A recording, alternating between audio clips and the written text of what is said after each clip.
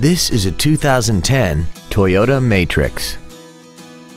This compact has a four-speed automatic transmission and an inline four-cylinder engine.